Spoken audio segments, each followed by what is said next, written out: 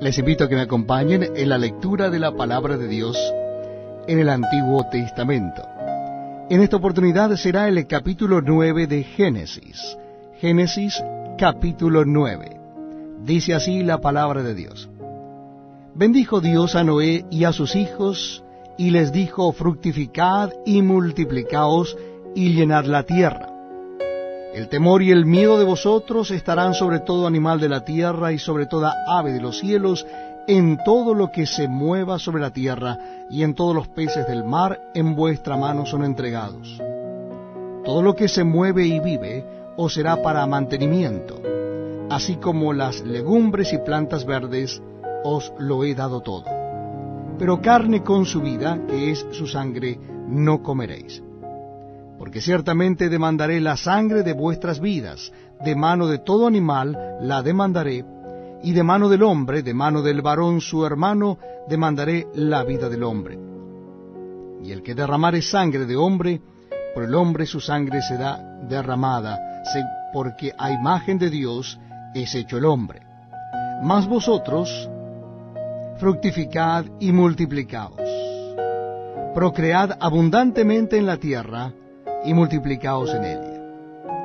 Y habló Dios a Noé y a sus hijos con él, diciendo, He aquí que yo establezco mi pacto con vosotros y con vuestros descendientes después de vosotros, y con todo ser viviente que está con vosotros, aves, animales, y toda bestia de la tierra que está con vosotros, desde todos los que salieron del arca hasta todo animal de la tierra.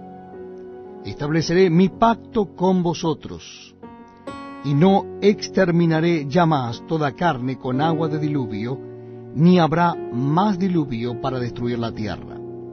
Y dijo Dios, Esta es la señal del pacto que yo establezco entre mí y vosotros y todo ser viviente que está con vosotros por siglos perpetuos.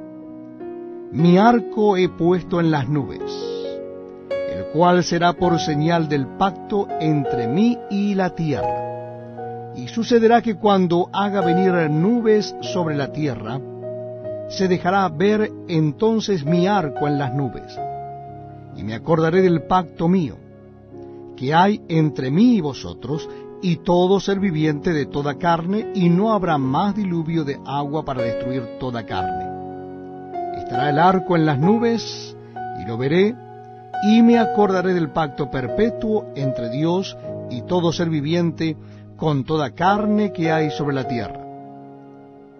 Dijo pues Dios a Noé, Esta es la señal del pacto que he establecido entre mí y toda carne que está sobre la tierra.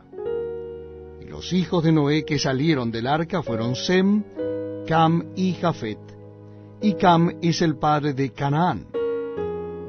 Estos tres son los hijos de Noé, y de ellos fue llena toda la tierra. Después comenzó Noé a labrar la tierra y plantó una viña. Y bebió del vino y se embriagó y estaba descubierto en medio de su tienda. Y Cam, padre de Canaán, vio la desnudez de su padre, y lo dijo a sus dos hermanos que estaban afuera. Entonces Sem y Jafet tomaron la ropa y la pusieron sobre sus hombros y andando hacia atrás, cubrieron la desnudez de su padre, teniendo vueltos sus rostros, y así no vieron la desnudez de su padre.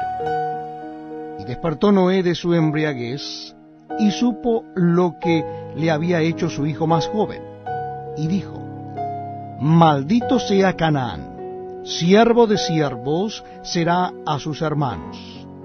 Dijo más, Bendito por Jehová mi Dios sea Sem, y sea Canaán su siervo. Engrandezca Dios a Jafet, y habite en las tiendas de Sem, y sea Canaán su siervo. Y vivió Noé después del diluvio trescientos cincuenta años, y fueron todos los días de Noé novecientos cincuenta años, y